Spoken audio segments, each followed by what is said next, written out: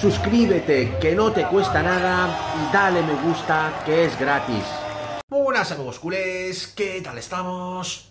Voy a empezar este vídeo hablando de las declaraciones que hizo hoy Pep Guardiola referente al fichaje de Bernardo Silva por el Barcelona, que como sabemos, salvo sorpresa, va a ser la próxima estrella del Barcelona. Vamos a por ello. Guardiola tajante con Bernardo Silva. No quiero a nadie que no quiera estar aquí. Guardiola se pronuncia sobre el futuro de Bernardo Silva por el Barça. El club blaugrana intentará todo lo posible para intentar incorporar a Bernardo Silva. Ante el firme interés del Barcelona, Pep Guardiola se ha pronunciado sobre el futuro del mediocampista portugués. Tras la marcha de Ousmane Dembélé al PSG, que se hará oficial en las próximas horas, el Barça sigue trabajando para reforzar la plantilla que dirige Xavi Hernández, uno de los jugadores que más gustan dentro de la entidad azulgrana es Bernardo Silva, aunque la operación para intentar su fichaje de momento es un poco complicada, pero como todos sabemos, salvo sorpresa, va a acabar siendo jugador blaugrana. Desde el Barça no se rinden e intentarán todo para incorporar al talentoso futbolista portugués.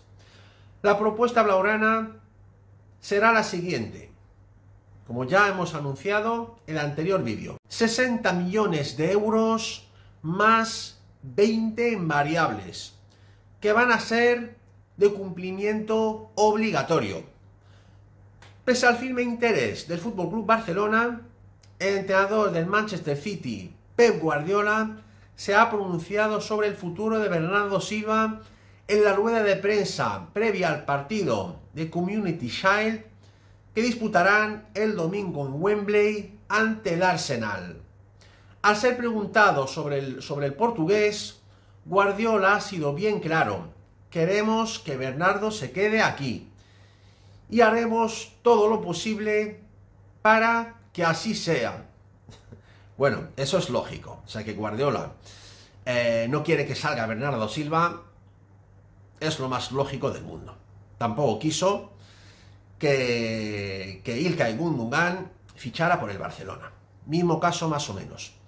Pese a eso, el entrenador catalán también ha añadido que no quiero a ningún jugador que no quiera estar aquí. Esto es el punto interesante de la cuestión. Si a Guardiola desea que Bernardo Silva siga con los Citizens, pero obviamente no lo va a obligar a que se quede. Ya sabemos que Guardiola no es el, típico entrenador que obliga a jugadores a estar sin que ellos quieran, etc. Entonces, ese es el punto a favor y yo creo que la clave del fichaje. Bernardo Silva va a forzar su salida en las próximas horas y eso va a ser la clave principal de su fichaje por el Barcelona. Quiero trabajar con chicos que quieran quedarse aquí. Pep Guardiola ha dejado claro que para dejar salir a Bernardo Silva hace falta una oferta adecuada. Y es la que va a presentar el Barcelona en las próximas horas. Como, como hemos dicho, 60 millones de euros más 20 en variables. Ya ha zanjado el tema apuntando que si algún equipo quiere realmente fichar al mediocampista portugués, cogerán un avión y hablarán con nuestro director deportivo, Pep Guardiola, en estado puro. Referente a la actualidad deportiva del Barcelona, pues eh, con la inminente llegada de Bernardo Silva, el club se está planteando vender a Abde.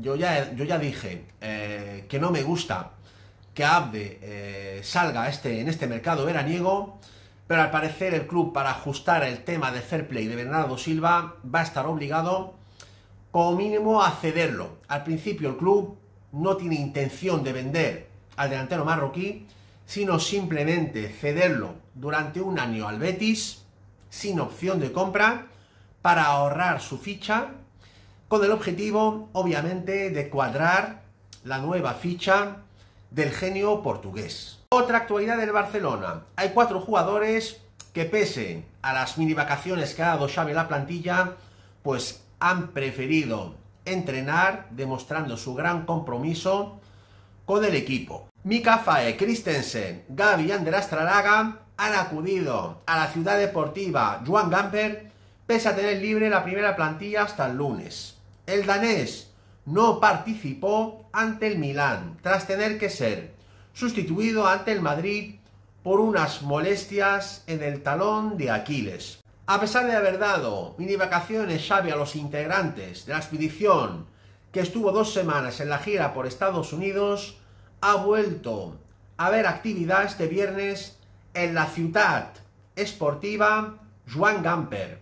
Si ayer fueron Gaby, Íñigo Martínez y Gundogan los que se dejaron caer por las instalaciones de entrenamientos de San Juan de Espí, este viernes ha repetido el de los Palacios, que se le han sumado Mika Fae, Ander Astralaga y Andreas Christensen.